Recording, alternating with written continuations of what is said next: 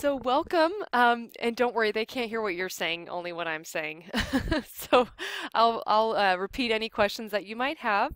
Um, but this is our, um, I can't remember actually what number workshop this is, but we're going to be talking today about uh, accessible PowerPoints. Um, so the tips you're going to get today are um, things that you can do to your PowerPoint, relatively simple things that um, you can do to ensure that if a student opens up your PowerPoint and they use a screen reader, like for, for example, if they're blind or um, have a vision impairment, uh, and they they use a screen reader to read your PowerPoint, that it's going to read in the way that you would want it to, not out of order, um, which can be very confusing. Um, so and then at the end of the, uh, towards the end of the session, um, I have a sample PowerPoint that for both of you eh, sitting here, um, I put it onto your desktop. And for you ladies, I'll put it onto your desktop uh, when we start the practice portion. And um, I have a little sort of assignment for you at the end of the packet. So that'll be fun. So I'm going to start off by um, showing you the um, online accessibility at DVC website, which is something you can refer to at any time for assistance with what I'm going to talk about with you today and also other things. And the URL for this is just uh, www.dvc.edu slash online accessibility. I know on the URL that you're seeing on the screen it's a little bit longer, but just slash online accessibility will get you there. It's also located if you click under faculty and staff on the main DVC homepage, you know, at the top. And then if you scroll down a little bit, under general information, you'll see a link to it as well, and it's in bold because it's relatively new. So this webpage um, is meant for faculty and staff to help you sort of um, accessibilize your online content. Um, I do want to stress to you though that it is not your responsibility to be accessibility experts, okay? Um, we are not expecting that. The whole purpose of this is to just give you a few simple things that you can do uh, in various aspects of your um, materials creation to make your course um, more um, equitable for students with certain disabilities.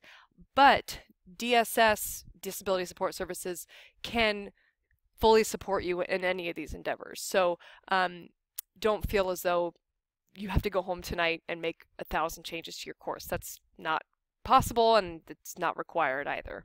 Um, but slowly, if we begin to all work together uh, over time, then we'll get closer and closer to um, perfect courses as I'd like to think. Okay, so what I wanted to do is start out by just going into Module 3, which is Accessible PowerPoint Presentations. Some of you might be Mac users, and that's fine.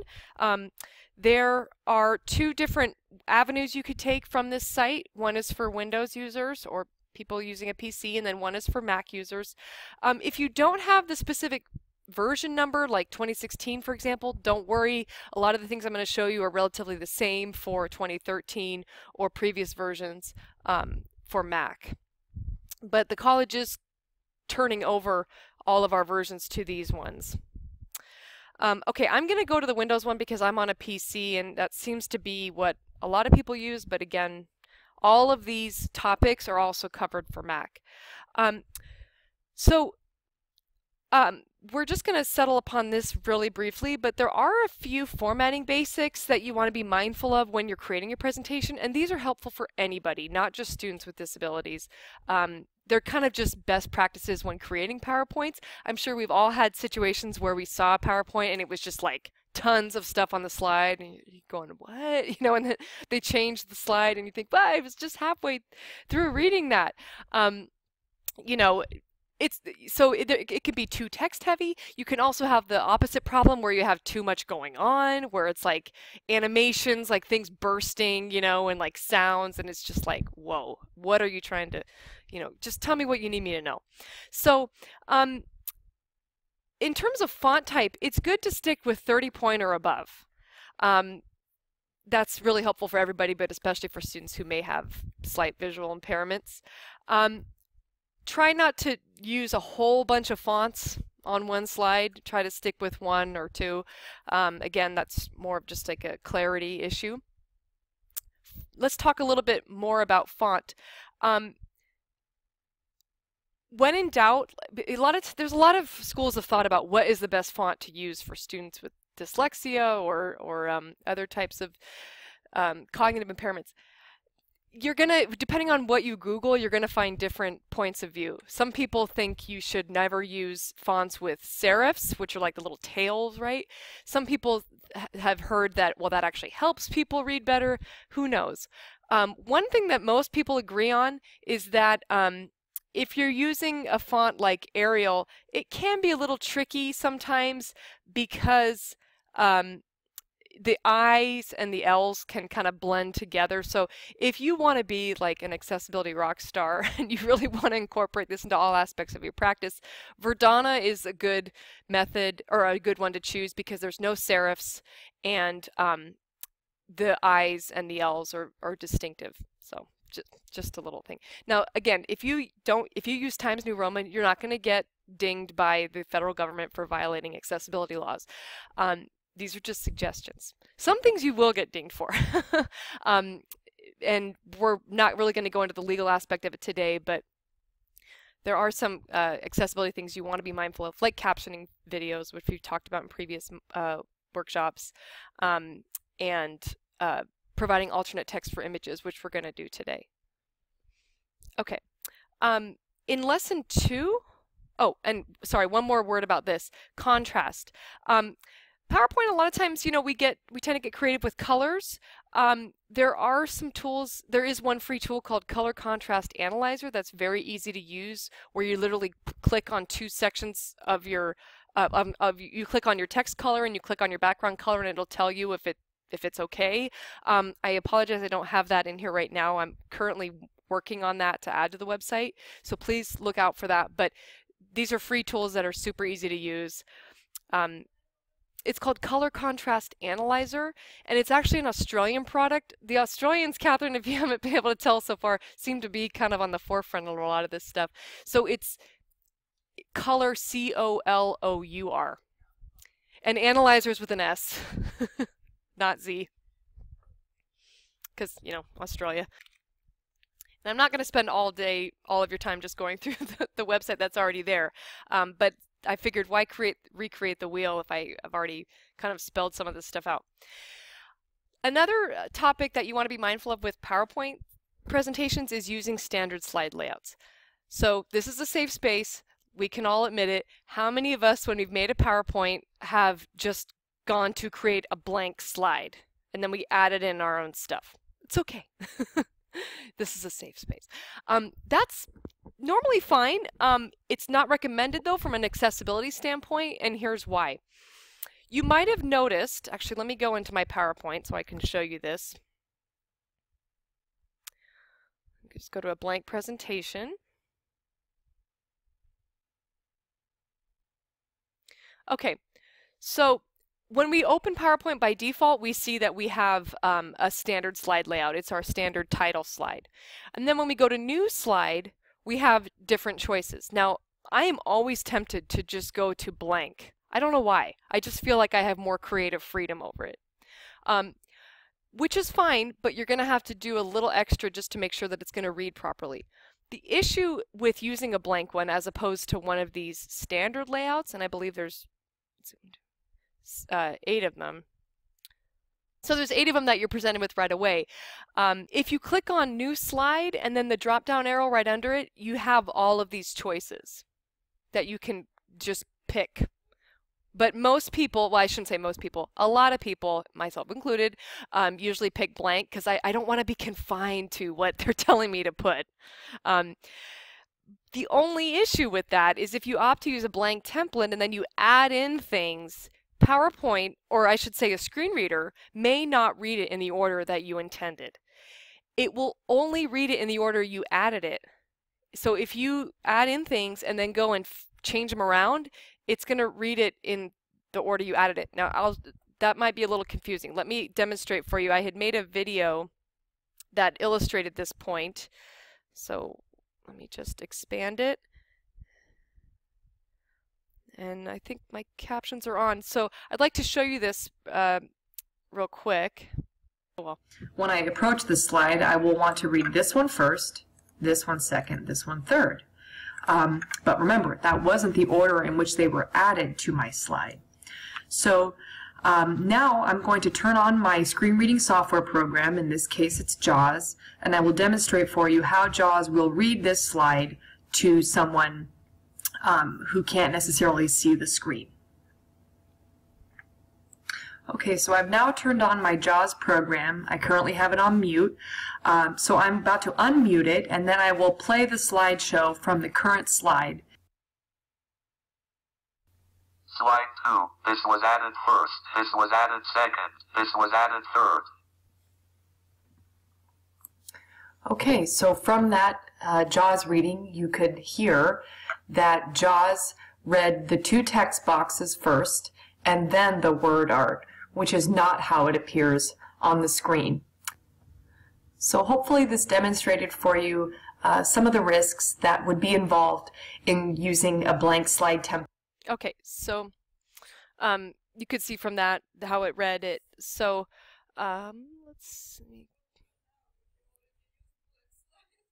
No, it's fine. So um, if you already have a, a blank slide, hold on one moment.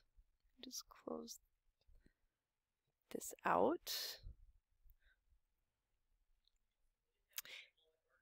Correct. So if you already have a blank slide, um, it, don't worry, it's fine. But what we're going to want to do is go and check the reading order and then rearrange things if you find that it's out of order. So um, it's okay to use a blank slide, but the, the, the nice thing about using a standard slide layout is that it's going to be more um, PowerPoint already has assigned placeholders to all those things, so it's going to most likely read in an order that you intended if you fill in those those elements. Um, so some of you have been to our other workshops about Word and using styles, like where it uh, assigns like a heading to certain things. So um, standard style layouts are kind of like PowerPoint's version of version of slides, where it the the computer already knows a picture is going to go here or a chart, and a title is going to go here, so it already has headings assigned to certain things. Um, okay, so then the rest of the um, the, this lesson goes shows you screenshots of actually how to apply standard slide layouts, and the same would go for the Mac one. Um, so next, I would like to um, talk about reviewing reading order. And so this is what you would do. Um, I mean, it's a good idea to do even if you use standard slide layouts, but if you've used a blank slide, you're just going to want to go and, and perform this process to review it. So um, the other thing too is you notice that when you rearrange placeholders, it's still going to read in the order it was added. Um, or if you delete one um, and it'll look like it's not there anymore, uh, it still might read in a different order. Um, so again, just a good idea to do. And this goes over how to do that. Um, and let me take, I think I have, okay, I have a video for this too. So um, here's a series of screenshots. It's very simple. You just go into the drawing group on your home tab and there's a button under that that says arrange. And in the, when you click arrange, there's a, um, an item under that that says selection pane. And if you happen to have PowerPoint up, again, you don't have to, but you can check all this stuff out, and you'll be practicing this today as well. So if you click selection pane, it's going to give you to the right um, uh, a menu that shows all of the elements that are on your page. They won't necessarily have um, the text that you've typed into those elements, but they'll have what the placeholder is called. So I know this is a little small, but in this case, I have title one, and then I have subtitle two. Now, one thing I found tricky about this is that title, whatever's on the bottom of this list is what's going to be read first and then what's above that is read second and then what's above that is read last. Now, I for, for myself, I found that confusing because I naturally thought what was on top would be read first, but it's the other way around. So that's why I tried to make this really obvious. This is going to be read first, this is going to be read last.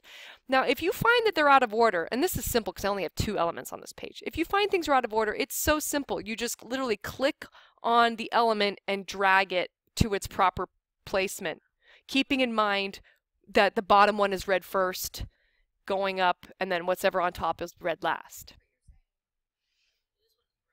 This one is correct. sorry, Jenny, go ahead. Right. So what the what you're referring to and just for the people listening. So on our slide it's clear this is the title. Our title is written larger. I guess i should point to it with the mouse here. The title is larger and then the subtitle is below. So then if you go over to the selection pane this is correct because the title is what will be read first. Okay yeah so this one is right. But again if you find it wrong it's easy to to reorder it. And i think I, in the video i demonstrate that. So um, Oh, actually, and then if you look right down here, you can click and drag the elements, or you can also just um, click on the element you want to move and then use your up and down arrows. Um, okay, so let me show you this. This is really brief, this video, and it kind of demonstrates moving them around. In this video, I'm going to demonstrate how to review the reading order for the items on your PowerPoint slide to ensure that screen reading software will read them in the order you intended. The example I'll use is the same slide I created in the video in Module 2, in which I used a blank slide template and manually added in two text boxes and one word art box, and then rearranged their positioning on the slide. I labeled each item to show the order in which I added them to the slide. Note that the order added does not reflect the order in which they appear on the slide. So to review the reading order, first click on the Arrange button in the Home tab, then locate the Selection pane button. Clicking the Selection pane button will show you to the right a listing of each item on the slide. The item at the bottom of the list would be read first by a screen reader, and the item at the top would be read last. Clicking each item once in the list will show you which item it is referring to on the slide.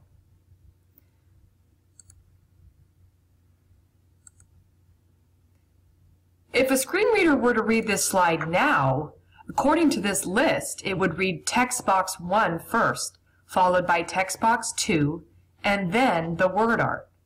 Looking at the slide tells us that this is not the order we want. To fix this, in the selection pane, click once on the item you wish to move. In this case, I'll click on rectangle 4, which is my word art, and then use the up and down arrows to adjust its position. So if I click the down arrow twice, that will bring my rectangle 4, which is my word art, down to the bottom of the list. And now this will be read first, which is how it appears on the slide. Once you are satisfied with the order, simply close the selection pane window and your changes will be applied. Thank you so much. Okay. Okay, so um, again, not a super complicated process. I know it's a little overkill, but um, you know, it, it, helps to practice. Um, okay, so you're going to be doing that as well in the practice activity that I'm going to have you do. I, I have a uh, PowerPoint slide of how to make a peanut butter and jelly sandwich, which is educational. so we'll be doing that. Um, the last thing I want to show you, though, that is sort of one of the big tenets of creating an accessible PowerPoint is how to handle images. So images are prevalent in PowerPoints. That's a lot of times why we use PowerPoint because we want to show, you know, um, paintings or charts or whatever. Um, so the thing to know about images, and the same goes for Word, is you want to add alternate text to that image or that chart. Um, because if you don't, the screen reader is just going to, to let the listener know that there's an image there, but they won't tell them what it is. So you need to take the extra step of telling, uh, of assigning rather, sort of a label to that image. And in this case, we call that alternate text. Um, and here's here's sort of a, uh, an example. You don't want to repeat what is already in a caption, unless the caption pretty much describes what is that pic what's in that picture, in which case your work is done. Um, but sometimes captions don't accurately convey what the picture is about. Like in this sense, it's a painting. This is a famous painting, and the caption says, "In this painting, the artist Emmanuel Lutz, I think I'm saying that right, used light and color to convey motion." But that's not telling us anything about what this was actually in this painting. and I know a picture's worth a thousand words, but do the best that you can. You don't have to write a novel, um, but think of what the take-home message that you want conveyed by showing that chart or that that painting is. In this case, I wrote, I know it's a little, my color contrast would probably not pass this test, but in OmniUpdate, when you put in a block quote, it makes it really gray. What's that? I did write this. Yeah, thank you. it took a whole day just to draft this one statement. Um, so George Washington looks forward with a determined gaze. This is, oh, yeah, this is like way hyperbolic. As his wary troops row their small craft across the Delaware River and into battle. The light of dawn, swirling water, and jagged icebergs add a dramatic effect. Okay, so is the student going to get a, a, could they definitely repeat back to me exactly what the picture looks like? Maybe not, but if this were an art history class, you might be discussing, you know, using light to create effect and, and you know, um, how is Washington standing and what does that show you? Um, so again, do your best, but then when a screen reader, uh, so the student, the screen reader, um, and the one that you heard in the video, the one previously is called JAWS, which stands for Job Access with Speech. It's one of the most popular screen readers on the market. I'm going to use another one today to to demonstrate something else that is free. JAWS is not free, um, but the, I'm going to show you one today that is free. That's becoming more and more popular. Um, but when a screen reader is going down and reading the text, if it comes to an image that has alternate text attached to it, it's going to read that, um, as opposed to just blank or image. Okay, so then adding it is very simple. Um, you simply just right click the image and a menu appears that's and you can click on format picture and once you do that um, the, this little button right here is called the layout and properties button. You would not know that unless you actually hovered your mouse over it because much fewer things are labeled now. But if you click that, you will see a box that appears that says alt text and it's simple. You can just type in to those to these boxes what your alt text is. Now there's a section for a title and a section for a description. Not always necessary to do both. If it's a chart and the chart has a definite title, then yeah, you can add the title and then the description, you know, maybe a couple sentences about what you want that chart to convey or what that chart's trying to convey. Um, but if it's just an image like company logo or something like that, then title is fine. You don't have to go into the description.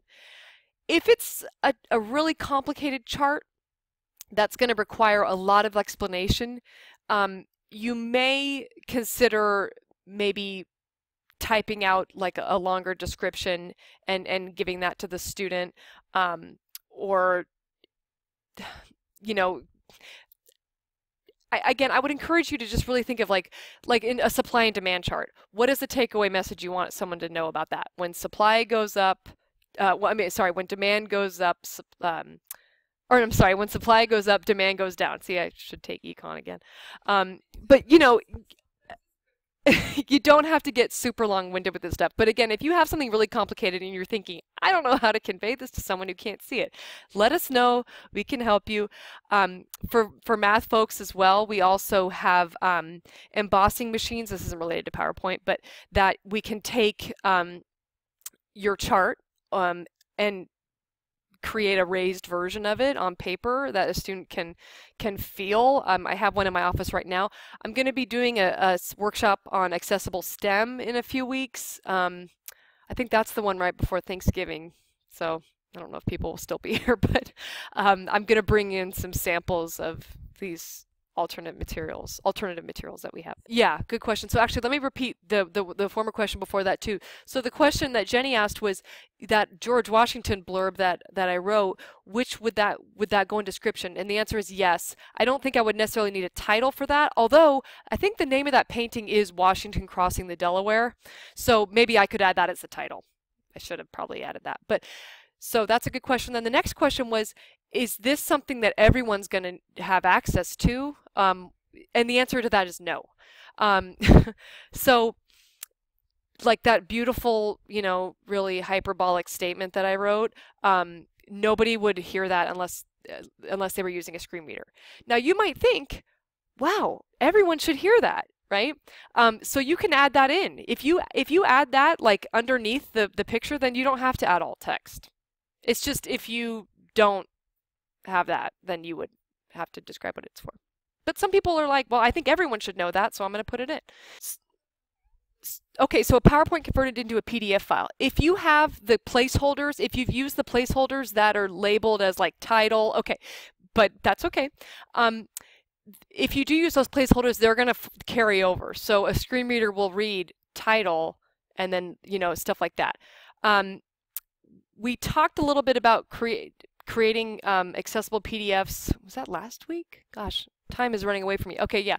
We talked about that last week. So there are ways, once something's been converted to a PDF, if it wasn't already created in an accessible way, you can make it accessible once it's already in PDF. Remember we talked about using the make accessible wizard and well, I mean that's a common practice. Converting PowerPoints to PDF is common practice. Um, but for students who are blind, a better way to do it? Like if you if you know there's a student in your class who's blind and and you're going to be sending them the powerpoint or you're going to be posting it onto um, canvas is to just post it as a powerpoint file and then they can download it and then all of these you know because there's specific command keyboard commands for how to read a powerpoint presentation in jaws and in the other program i'm going to show you.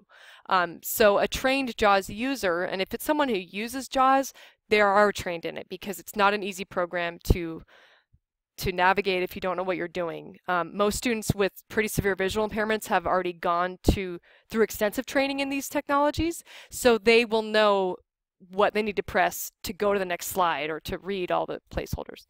So um, it, it depends on the disability. If it's a blind person, I would say not, unless you've done some work on it. But typically PDF are, are not friendly for people who are blind. Um, but Word documents, um, you know, in their in their source format, are typically friendlier. I right. Well, but so but you have them. So you created it in its own in its native format originally. So you had a Word document and then you convert it to PDF. So you still have those source documents. So if you needed to, if a student came to you and said, you know, professor, I um, can you send me this file in a Word document format because that my, my BrailleNote will read it better that way or my screen reader will read it better that way. You have it and you easily can just send it off to them. So I'm not trying to suggest that you shouldn't ever convert anything to PDF anymore. You can certainly do that, but you know, make sure that you still have those source files if the need arises. Okay, so um, I have a video of this too. I, I, don't think I need to show you that, but if you like to see things being done step by step, then you can certainly access that. The next two lessons go over hyperlinks and then how to deal um, with, I think, charts. I think I talked about that a little bit. But um, at this point, what we're going to do, let me go back and make sure that I, yeah, hyperlinks and tables and charts. And again, the tables and charts instructions are kind of similar to the um, alternate, uh, how to deal with images and alternate text. Um, but there's a, little more um, in terms of how to get to where you add the alternate text. Like you have to know where to click and all these things. So that explains that. Um, what I would like to do right now to be mindful of your time is if you flip to the back of your handout, um, I don't have one, unfortunately. I'm glad I gave them all out. Okay, Jenny's going to share. I just need to read this real quick. Thank you. So the back page says, let's practice some of the skills we've discussed today. You can refer to Module 3 in the Online Accessibility at DVC webpage, which I have up here, or this handout, because again, everything that I've talked about is, is in this. Um, so what I'm going to do right now is probably end my recording and I'll come around to those of you who I haven't added the peanut butter and jelly PowerPoint to. And what I'd like you to do is check practice checking the reading order for the items on that slide and then rearrange them if necessary to create the most logical reading order. And then last but not least, add an alternate text to the image. I'm going to mute the, I'm going to stop my recording now and then I'll put it onto your um, machines and then um, maybe I can play it for you again at the end if we have some time. So thanks for your, thank you listening audience and we'll see you next time.